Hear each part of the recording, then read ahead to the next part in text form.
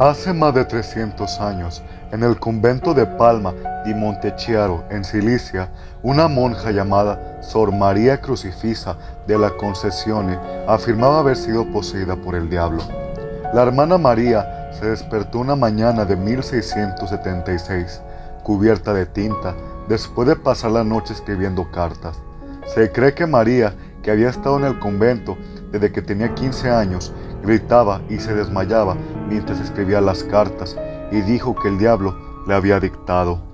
Ella afirmó que la posesión era parte del plan de Lucifer para volverla contra Dios y convencerla de servir al mal.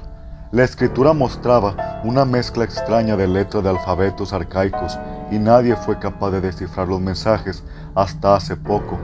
Fue descifrada por científicos que usan un software rompecódigos que se encuentra en la dark web, informó el Times de Israel.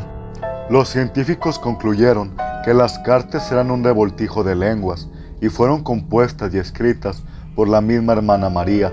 Ella se había convertido en una lingüista experta durante su tiempo en el convento.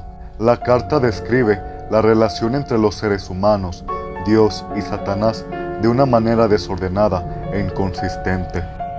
Dios piensa que puede liberar a los mortales, dice la carta de la hermana María, agregando que este sistema no funciona para nadie.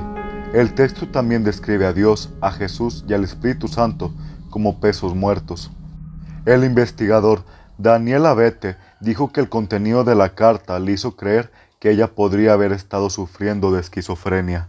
Yo personalmente creo que la monja tenía un buen dominio de los idiomas, lo que le permitió inventar el código, y puede haber sufrido de una condición como la esquizofrenia, lo que le hizo imaginar diálogos con el diablo, dijo Abete a The Times de Londres.